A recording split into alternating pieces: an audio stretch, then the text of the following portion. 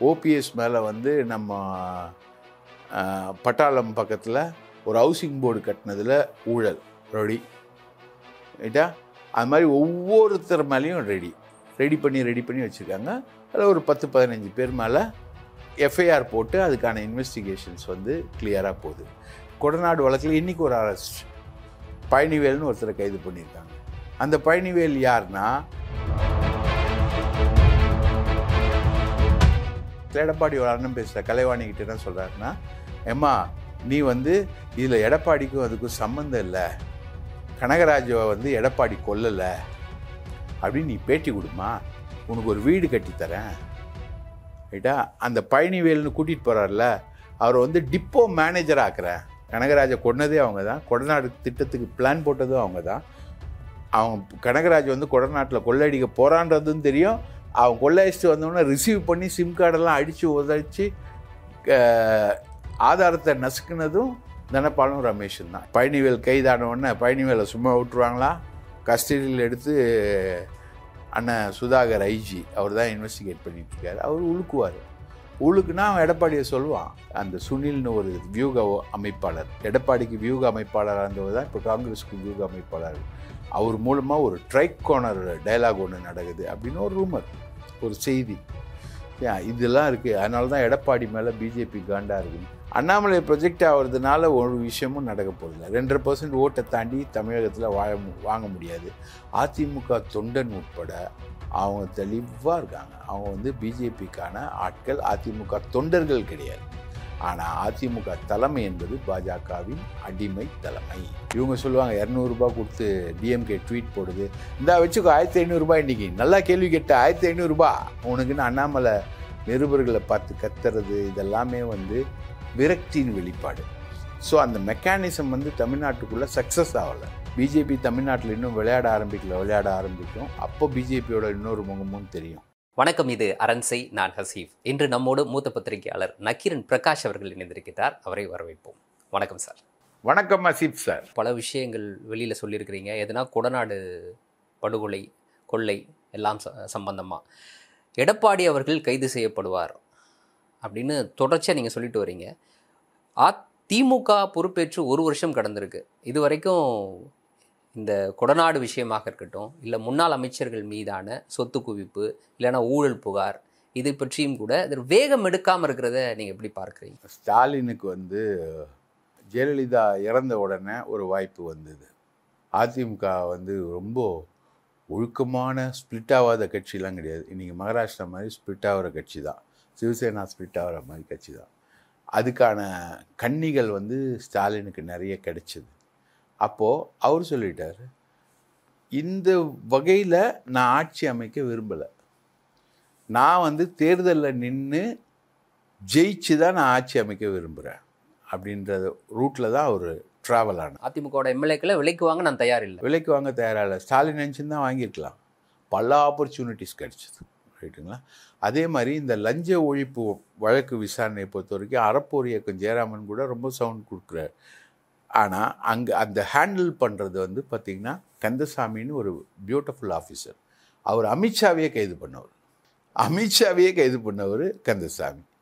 அவர் வந்து எதுக்கும் பட்ஜாகி ஈல்டாகி மைல்டாகி லஞ்சம் வாங்கிட்டுலாம் அவர் பண்ணுவான்றதை நான் சத்தியமாக ஒரு ஜேர்னலிஸ்ட்டாக எனக்கு நம்பிக்கை இல்லை. அவர் மேலே அவரோட இன்டெகிரிட்டி மேலே பெரிய நம்பிக்கை இருக்குது ரைட் இப்போது வேலுமணி கேஸ் எடுத்துக்கோங்க. வேலுமணி கேஸ் எடுத்துக்கிட்டிங்கன்னா அது வந்து அதிமுக ஆட்சியிலே உயர்நீதிமன்றம் வந்து விசாரணைக்கு உத்தரவிடுது. அப்போது பொன்னின்னு ஒரு எஸ்பி அவங்க தான் விசாரிக்கிறாங்க. அவங்க வந்து வேலுமணி மேலே அந்த டெண்டர் ஊழல் இப்போ கொடுத்துருக்காங்க இல்லையா? அந்த டெண்டர் ஊழலில் எந்த குற்றச்சாட்டும் இல்லைன்னு சொல்கிறாங்க வேலுமணி மேலே. அது வந்து உயர்நீதிமன்றத்திலே சொல்கிறாங்க இப்போது அந்த வழக்கை ரத்து செய்ய சொல்லி வேலுமணி போட்ட பெட்டிஷனில் ப்ரே என்னன்னா இதே லஞ்ச ஒழிப்புத்துறை வந்து என் மேலே எந்த குற்றமும் இல்லைன்னு சொன்னாங்க. இப்போ அவங்களே வந்து மாற்றி சொல்கிறாங்க அப்படின்னு. அப்போ வே கந்தசாமி வந்தப்புறம் எல்லாத்தையும் விஷயம். இப்போ ஓபிஎஸ் உட்பட எல்லா மினிஸ்டர் மேலேயும் கந்தசாமி ஃபைல்ஸ் வந்து பக்காவாக ரெடி பண்ணியிருக்கார். ரைட்டுங்களா இப்போ அந்த ஐஏஎஸ் ஆஃபீஸர் மேலே நடவடிக்கை எடுக்கணும் அப்படின்னு அறப்போர் இயக்கத்தோட டிமாண்ட் ரைட் ஓகே ஃபைன் அதில் வந்து இப்போது லஞ்ச ஒழிப்புத்துறை பிரகாஷ் உட்பட. அங்கே. இப்போ கார்ப்பரேஷன் கமிஷனர் பிரகாஷ். அது இல்லாமல் விஜய் கார்த்திகேயன் கோயம்புத்தூர். எல்லாரையும் சீனில் கொண்டு வந்து நடவடிக்கைக்கு பாயிறாங்க. பாயிறாங்க அது அரசு அறிக்கை அனுப்புகிறாங்க அரசு அதை ஏற்றுக்குது பாயிறாங்க. ஒவ்வொருத்தர் மேலேயும் வேலுமணி மேலே மட்டும்தான் டெண்டர் ஊழல் போட்டிருக்கேன் மற்றவங்க மேலே வருமானத்துக்கு அதிகமான சொத்து சேர்ப்பு வழக்கு தான் போட்டிருக்கேன் வருமானத்துக்கு அதிகமான சொத்து சேர்ப்பு வழக்கில் கைது பண்ண வேண்டிய அவசியம் இல்லை. ரைட்டுங்களா ஜெயலலிதா கைது செய்யப்பட்டது கலர் டிவி ஸ்கேமில் தான் கைது செய்யப்பட்டாங்களே தவிர வருமானத்துக்கு அதிகமான சொத்து சேர்ப்பு வழக்கில் கைது செய்யப்படவில்லை. ஆனால் ஜெயலலிதாவுக்கு நாலு வருட தண்டனை கிடைத்த வழக்கு வந்து வருமானத்துக்கு அதிகமான சொத்து சேர்ப்பு வழக்கு. நான் சில டிவி ஆங்கிளில் சொன்னால் சொத்து வழக்கு அது. அந்த சொத்து வழக்கில் தான் கிடைச்சிது. அந்த சொத்து வழக்கை தான் போட்டிருக்காங்க. ஏன் அதை போடுறாங்கன்னா அதில் வந்து எஸ்கேப் ஆக முடியாது. Onus of proof lies with the accused இதுதான் வந்து டிஸ்ப்ரப்போர்ஷனேட் வெல்த் கேஸோட சொத்து வழக்கோட தாத்பரியம். ரைட்டுங்களா? சொத்து குவிப்பில் சொத்து வழக்கோட தாத்பரியம். இந்த வழக்கை எல்லார் மேலேயும் போட்டாங்க. ரைட்? இந்த இன்வெஸ்டிகேஷன் இருக்குது எனக்கு ஒரு பத்திரிகையாளராக நான் சொல்ல நினைக்கிறது என்னென்னா ஒரு மினிஸ்ட்ரு அவர் வந்து ஒரு லாட்ஜ் வாங்கியிருக்காரு. எங்கே நம்ம திருச்சியில் வாங்கியிருக்காரு. அதில் வந்து fifty percent partner fifty percent வேறப்பா யார் யார் ஃபிஃப்டி பர்சன்ட் பார்ட்னர்னு லஞ்ச ஒழிப்புத்துறை உட்காந்து விசாரிச்சுக்கிட்டு. இந்த மாதிரி எல்லா மினிஸ்டர் மேலேயும் டாக்குமெண்ட்ஸ் வந்து ரெடி ஓபிஎஸ் மேலே வந்து நம்ம பட்டாளம் பக்கத்தில் ஒரு ஹவுசிங் போர்டு கட்டினதில் ஊழல் ரெடி ரைட்டா? அது மாதிரி ஒவ்வொருத்தர் மேலேயும் ரெடி. ரெடி பண்ணி ரெடி பண்ணி வச்சுருக்காங்க. அதில் ஒரு பத்து பதினஞ்சு பேர் மேலே எஃப்ஐஆர் போட்டு அதுக்கான இன்வெஸ்டிகேஷன்ஸ் வந்து கிளியராக போகுது. ஜெயலலிதா சொத்து குவிப்பு வழக்கில் ஒரே ஒரு எக்ஸ்பீரியன்ஸ் சொல்கிறேன் அதில் வந்து லண்டன் ஹோட்டல் கேஸை வந்து இணைச்சாங்க. அதில் வந்து ஏ ஃபைவ் வந்து தினகரன். பதினெட்டு வருஷம் அந்த வழக்கு நீடிச்சுது. அது காரணம் என்னென்னா லண்டனில் ஹோட்டல் வாங்குறாங்க. ஃபுட்பால் மைதானத்தோட ஓட்டு வா ஹோட்டல் வாங்குறாங்க. அதோட ஏ ஃபைவ் தினகரன் அதில் வந்து அட்டாச் ஆகியிருந்தது தான். நம்ம ஆச்சாரியா தான் எப்பா இதில் வந்து ஒன்றும் இன்வெஸ்டிகேஷன் இல்லை. அதனால் ஏஃபையை கட் பண்ணி விட்டுலாம் அது வந்து கர்நாடகாவுக்கு மாறின ஒன்று ஏஃபையை கட் பண்ணி விட்டுலாம். ஏ ஃபோர் வரைக்கும் ட்ரையல் எடுக்கலான்னு ஆச்சாரியா கட் பண்ணி விட்ட ஒன்று தான் அந்த சொத்து குவிப்பு வழக்கு ஸ்பீடப் ஆச்சு. அது வந்து தமிழகத்தின் தானை தலைவி தமிழின தலைவி தன்னிகர் இல்லா முதலமைச்சர் அம்மா அம்மா அவங்க வந்து ஏ ஒன்றா ஆகிற அளவுக்கு வந்துச்சு. ரைட்டா அதனால தான் அந்த அம்மா கவலையில் இறந்து போனாங்க. அந்த அளவுக்கு ஆச்சு? அந்த மாதிரி ஒவ்வொன்றுத்துக்கும் டைம் இருக்குது இப்போ கொடநாடு வழக்கு நீங்கள் கேட்டீங்க. கொடநாடு வழக்கில் இன்றைக்கி ஒரு அரெஸ்ட் பழனிவேல்னு ஒருத்தரை கைது பண்ணியிருக்காங்க. அந்த பழனிவேல் யாருன்னா எடப்பாடியோட கலைவாணின்னு கனகராஜோடைய மனைவியை கூட்டிகிட்டு போய் உட்கார வச்சு பேச வச்சவர். இந்த அந்த சந்திப்புல என்ன நடந்தது? அஹ், நீங்க விசாரணை நடத்துனீங்க. அந்த சந்திப்பில் வந்து கலைவாணி கிட்ட எடப்பாடியோட அண்ணன் சொல்கிறார் எடப்பாடி டைரெக்டாக பேசல. எடப்பாடியோட அண்ணன் பேசுகிற கலைவாணி கிட்ட என்ன சொல்கிறாருன்னா ஏம்மா நீ வந்து இதில் எடப்பாடிக்கும் அதுக்கும் சம்மந்தம் இல்லை. கனகராஜவை வந்து எடப்பாடி கொல்லலை. அப்படின்னு நீ பேட்டி கொடுமா உனக்கு ஒரு வீடு கட்டித்தரேன் ரைட்டா? அந்த பழனிவேல்னு கூட்டிகிட்டு போகிறார்ல அவரை வந்து டிப்போ மேனேஜர் ஆக்குறேன். அவர் வந்து அரசு போக்குவரத்து கழகத்தில் ஊழியராக பதி பணிபுரிகிறார். அவர் வந்து டிப்போ மேனேஜர் ஆக்கிடுறேன் நான் அப்படின்னு பேச்சு பேச்சு நடக்குது. ரைட்டா? இதை வந்து கலைவாணியும் வந்து சொல்கிறாங்க இது வந்து எங்கிட்டையும் சொல்லியிருக்காங்க. கனகராஜோட மனைவி எங்கிட்டயும் சொல்லியிருக்காங்க. நான் அதை போட்டு உடைச்சதுல தான் தனபாலும் ரமேஷும் கைதாகிறாங்க கனகராஜோட கொலையில். அவங்க கனகராஜோட சகோதரர்கள் கைதாகி இப்போ பெயிலில் இருக்காங்க. ரைட்டா கனகராஜை கொன்னதே அவங்க தான் கொடநாடு திட்டத்துக்கு பிளான் போட்டதும் அவங்க தான் அவங்க கனகராஜ் வந்து கொடநாட்டில் கொள்ளையடிக்க போகிறான்றதும் தெரியும். அவங்க கொள்ளையடிச்சிட்டு வந்தோடனே ரிசீவ் பண்ணி சிம் கார்டெல்லாம் அடித்து உதச்சி ஆதாரத்தை நசுக்குனதும் தனபாலும் ரமேஷும் தான். இதை கண்டுபிடிச்சது நாங்கள் தான் நக்கீரன் தான். அது வந்து இப்போ இருக்குது இப்போது பழனிவேல் கைது. ரைட்டா பழனிவேல் கைதான உடனே பழனிவேலை சும்மா விட்டுருவாங்களா? கஸ்டடியில் எடுத்து அண்ணன் சுதாகர் ஐஜி அவர் தான் இன்வெஸ்டிகேட் பண்ணிட்டு இருக்காரு அவர் உழுக்குவார். உழுக்குனா அவன் எடப்பாடியை சொல்லுவான். கொடநாடு வழக்கு இன்னைக்கு எடப்பாடியை நெருங்கிட்டு இருக்கு எல்லா விதத்துலேயும் எடப்பாடியை வந்து நெருங்குற வழக்காக தான். என்னை கைது பண்ணுறாங்கோ என்னை மோசமாக ட்ரீட் பண்ணுறாங்கோ என்னையும் அதிமுகவையும் ஒழிக்க சதின்னு சட்டமன்றத்தில் கூப்பாடு போட்டது யார்? எங்கள் அண்ணன் எடப்பாடி. கவர்னர்கிட்ட போய் பெட்டிஷன் கொடுத்தது யார்? எங்கள் அண்ணன் எடப்பாடி. மடியில் கனம் இல்லைனா ஏன் இப்படி கூப்பாடு போடுறேன்னு சட்டமன்றத்தில் எடப்பாடியை பற்றி கேள்வி கேட்டது Stalin. Everything goes on it goes on it takes its own course ரைட்டுங்களா நீங்கள் வந்து ஓபிஎஸ் மேலே இது வரைக்கும் திமுக வழக்கு போடல. அப்படிலாம் கிடையாது. திமுக ஏன் கேபி பார்க் கேபி பார்க் கட்டுமான ஊழல்.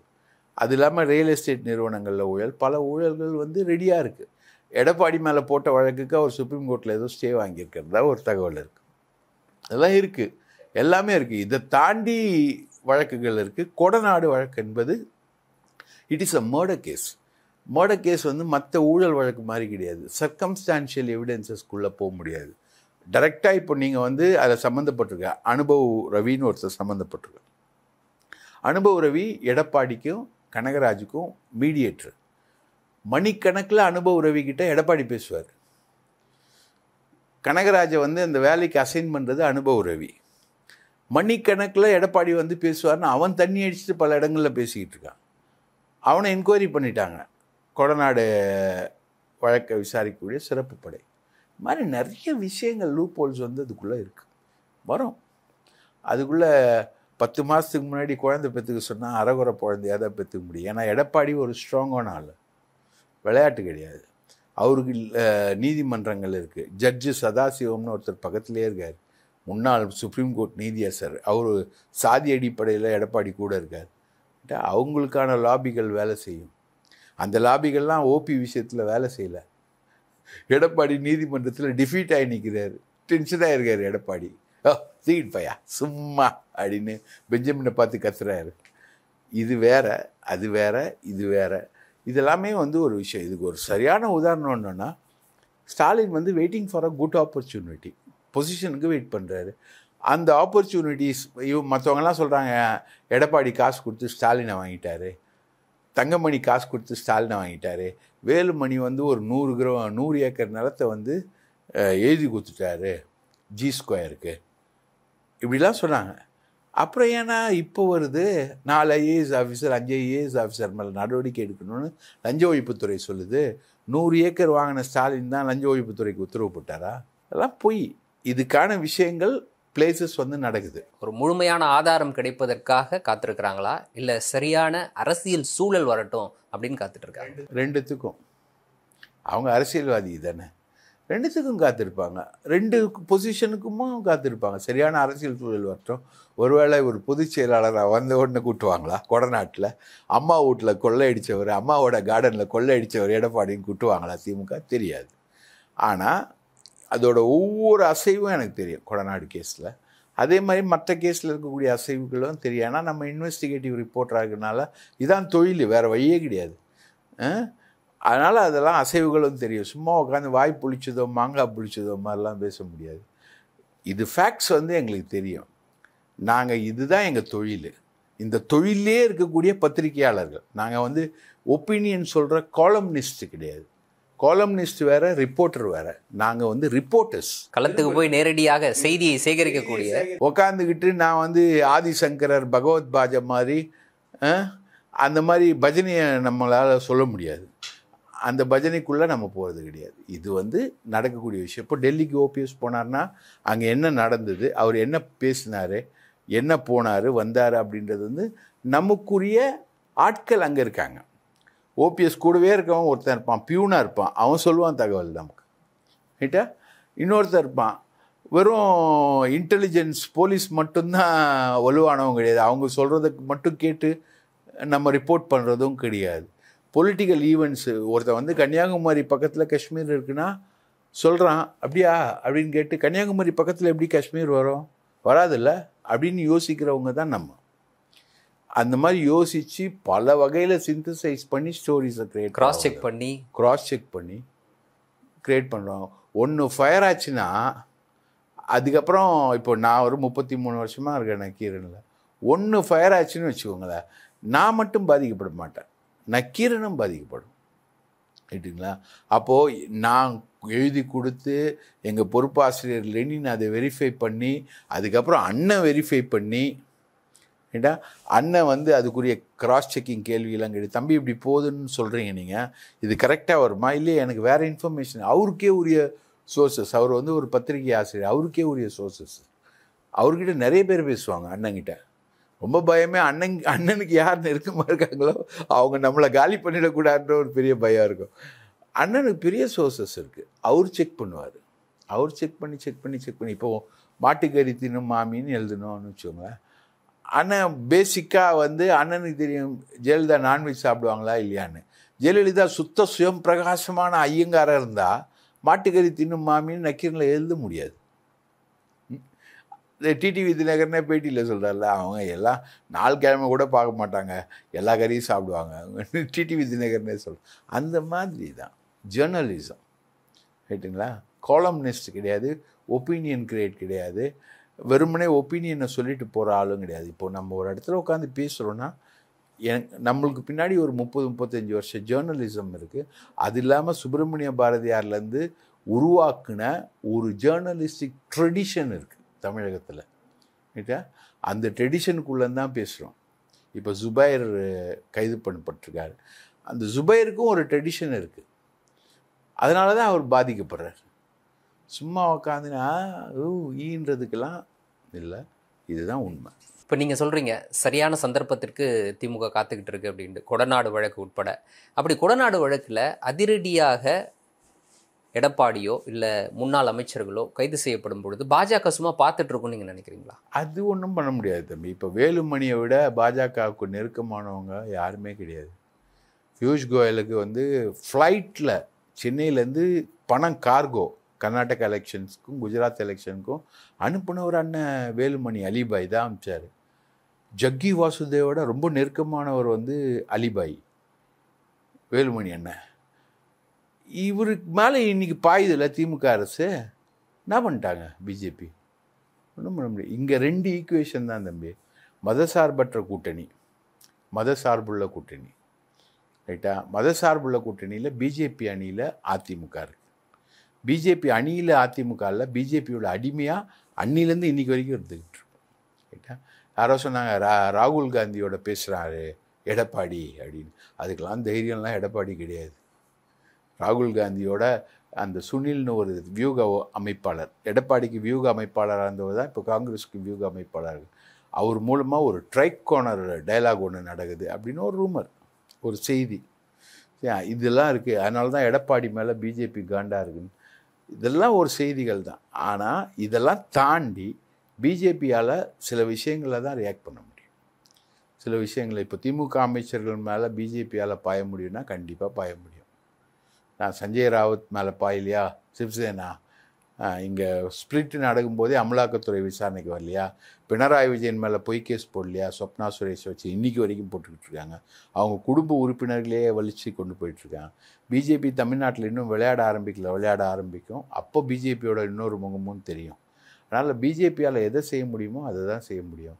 இங்கே தமிழகத்தில் வந்து மதசார்பற்ற அணி கூட்டணி இந்த விஷயங்கள்ன்றது ஸ்ட்ராங்காக இருக்குது இப்போது அதிமுக பிரச்சனைன்றது மதசார்புள்ள கூட்டணியில் நடந்துக்கிட்டு இருக்கக்கூடிய ஒரு கிணற்று தவளை பிரச்சனை தான். நீங்கள் இதை பேசும்பொழுது தான் நீங்கள் சொல்லும்பொழுது தான் இந்த கேள்வி எழுது. ஒரு ரெண்டு வாரம் மூணு வாரத்துக்கு முன்னாடி எடுத்தீங்கன்னு வச்சுக்கோங்க. அண்ணாமலை என்ன சொன்னாரோ அதுதான் செய்தி. அண்ணாமலை ஏதாவது சொல்கிறாரா திமுகவுக்கு எதிராக ஏதோ குற்றச்சாட்டை வைக்கிறாரா? செய்தியாக இருந்தது. இப்போ பார்த்தீங்கன்னா இந்த அதிமுக குழப்பம் வந்ததுக்கு பிறகு பிரதானமாக இன்னைக்கு அதிமுக மாறி இருக்கு அப்போது இதற்கு முன்னர் அண்ணாமலை அண்ணாமலை தான் வந்து இன்னைக்கு எதிர்க்கட்சி தலைவராக செயல்படுறாரு அப்படின்ற மாதிரியான கருத்துக்கள்லாம் முன்வைக்கப்பட்டது. இதெல்லாம் வெறும் வந்து ஊடக ஊடக வெளிச்சம் ஊடகம் அவருக்கு கொடுத்த அதீத வெளிச்சம் உண்மையான பிரச்சனை வரும்பொழுது ஊடகங்கள் உண்மை பக்கத்தில் இல்லாட்டினா அதுதான் மக்களுக்கு தேவை அப்படின்னு அந்த பக்கம் போயிடுவாங்க. அப்படின்ற மாதிரி புரிஞ்சுக்கலாம்? அண்ணாமலை வந்து ரொம்ப ஒர்க் பண்ணுறாங்க பிஜேபி ரொம்ப ஒர்க் பண்ணுறாங்க எனக்கு தெரிஞ்சு எனக்கு ரொம்ப நெருக்கமான ஒரு பத்திரிகையை முழுக்க எடிட்டோரியலே வாங்கிட்டாங்க. எடிட்டோரியலே அவங்க ஆட்கள்லாம் போட்டாங்க. அதே மாதிரி இப்போ நியூஸ் ஜே அதையும் கைப்பற்றிட்டாங்க அவங்க. நீங்கள் டெல்லியில் பார்த்தீங்கன்னா நியூஸ் சேனல்ஸ் எக்ஸப்ட் என்டிடிவி எல்லாமே பிஜேபி டிவிஸ் தான். அவங்க வந்து அது ஒரு சிஸ்டம் ஆஃப் ஆஸ்பிரேஷன்ஸ் அவங்களுடைய க்ரொனாலஜின்னு வச்சுக்கோங்களேன். இப்போ அண்ணாமலை சொல்கிறது எல்லாமே பெருசாக ஊடக வெளிச்சத்துக்கு வர்றதுக்கு காரணம் இதுதான். இவங்க சொல்லுவாங்க இரநூறுபா கொடுத்து டிஎம்கே ட்வீட் போடுது. இந்தா வச்சுக்கோ ஆயிரத்தி ஐநூறுரூபா இன்றைக்கி நல்லா கேள்வி கேட்ட ஆயிரத்தி ஐநூறுரூபா உனக்குன்னு அண்ணாமலை நிருபர்களை பார்த்து கத்துறது இதெல்லாமே வந்து விரக்தியின் வெளிப்பாடு. ஸோ அந்த மெக்கானிசம் வந்து தமிழ்நாட்டுக்குள்ளே சக்ஸஸ் ஆகலை. ஏன்னா அண்ணாமலை வந்து சில விஷயங்களை சொல்கிறாரு திமுகவுக்கு எதிராக அப்படின்றது வந்து ஒரு விஷயம்னு வச்சுக்கோங்களேன். இன்றைக்கி வந்து சிபிஎம்மோ மற்ற எதிர்க்கட்சிகள் சிபிஎம் சிபிஐ உட்பட காங்கிரஸ் உட்பட யாருமே வந்து பெரிய அளவுக்கான சார்ஜஸ் வந்து கரப்ஷன் சார்ஜஸ் அகைன்ஸ்ட் டிஎம்கே வந்து முன்வைக்க தயாராக இல்லை.